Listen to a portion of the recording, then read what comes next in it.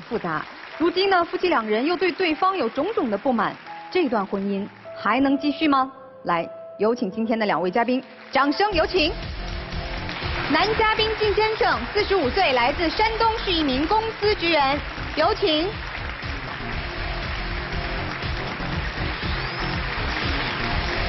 女嘉宾于女士，四十三岁，同样来自山东，自由职业，有请。两位好，主持人好。你好。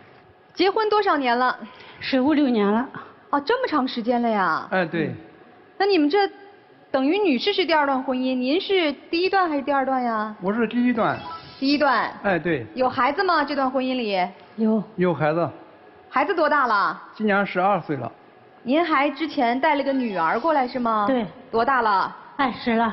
这过了十几年了，克服了之前的种种困难，这怎么就过不下去了呢？以前他对我挺好，现在这几年对我特别不好，除了打就是骂，还打老婆呀。我曾经不是想打老婆，他是一些事情以后，我说他两次，一次两次的他不听。所以第三次就就我就就动手打打过他几次。什么事儿他不听了？我就出出去嗯干保险想，他不让，他说干保险还得投资，还嫌丢人说，就不让我去。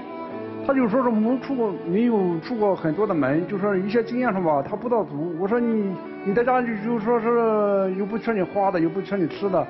我说你在家以后照顾好两个孩子就可以了，你干干什么保险？嗯。他结果以后，他瞒着我以后，他录了一份保险。你就偷偷跑出去做保险了？对。然后你发现了？我上外地去打工，给人家打工去了。跟人家打工去了以后，结果以后那个那个月工资也不少，一个月工资的话得五千五千五。嗯。去了一段时间吧，他那个地处修道，那个那个厂子他不干了，结果我回来了。回来了以后，我还有个特殊行业，我能跟那个俺那个网卫星天线。这回出去的时候，他姐夫哥给我打电话，就说是我我妹妹吧，呃，录了份保险，你看你能替他啥吧？我说我不让他。还保费是吧？哎，他他我来了家就三天了，他没跟我说这个事。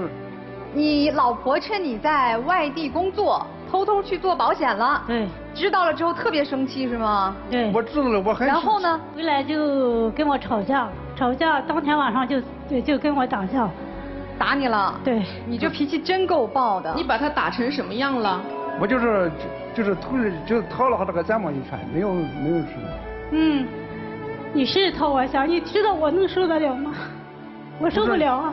我是出去为了为了这个家庭，挣了个。你为了家庭，我不是为了家庭吗？我不是为了家庭，我能成天在家吗？你跑了，你已经跑了七天了，没有一分钱的收入。我让你，我还来再让你去干什么？那个能当天回钱吗？那是不可能的，你不投资怎么当天就能回钱？干保险你不让我干，我就说去买台织织布机，为了就是在家给女儿做嫁妆嘛，我那边就都这样。你刚才你你说给女儿就说是买织布机，不是他买，他说说跟跟人合伙买一个，就说他两个人合伙买，结果来了以后啊，他说就他自己买了个，我说买这个什么用？他老是我得花钱，他就不乐意。这织布机才一百五十块钱，又不贵。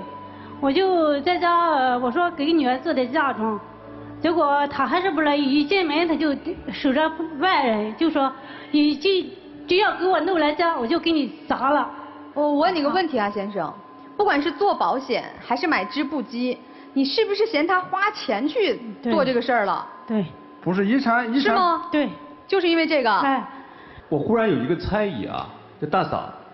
大哥不让你出去工作，有没有一种原因是怕你接触外面别的男的，或者接触更多的人？有过胎记吗？有过，嗯，就是去年的去年的时候，我不在家待着没事嘛，我去劳务市场寻思去干点活，结果碰上一个朋友说找司机，他说你们村呃开车的很多，说你给我找一个吧，嗯，结果就真的就给他找着了，结果那那个人就。表示感谢，给我打电话吧。中午说你出来吃饭吧，挺热。中午我就说我不去了。